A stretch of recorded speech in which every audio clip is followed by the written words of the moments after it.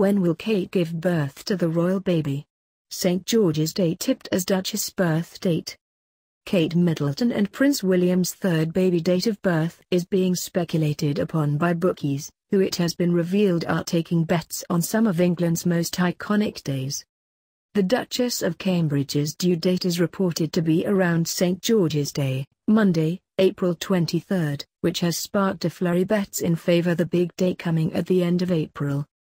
Bookmaker Ladbrokes have given a 10-1 chance that Kate and William's third child will be born on the day celebrating the English Christian figurehead St. George, which would give the nation another reason to celebrate the day.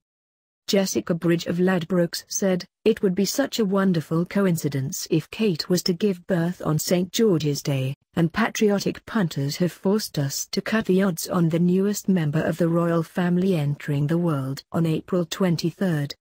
For the same reason, bookie competitor Betway slashed even more the odds, making the chance of a birth falling on St. George's Day a 5-1.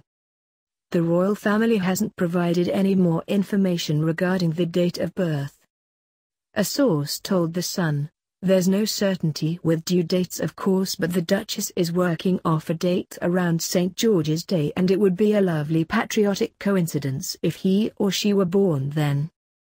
Betway's Alan Alger, said, There's a few big days coming up in the royal calendar which the birth of William and Kate's baby could coincide with.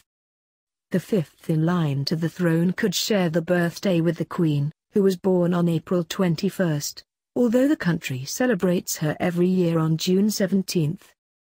Betway places this day as its second favorite, tipping it at 10-1. Other possible dates The third royal baby could be born on our Kate and William's anniversary, which falls on April 29, and the early May bank holiday on May 7.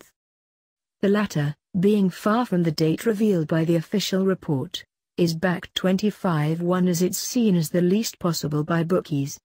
With Prince Harry and Meghan Markle's royal wedding taking place on May 19, the Duchess may not have a lot of time to recover from the birth. Prince William and Kate Middleton announced their pregnancy in September last year. The arrival of the fifth in line to the throne will see Prince George, 4, becoming a big brother for the second time, and Princess Charlotte, 2, big sister for the first time. Punters are also betting on the gender of the baby and the name.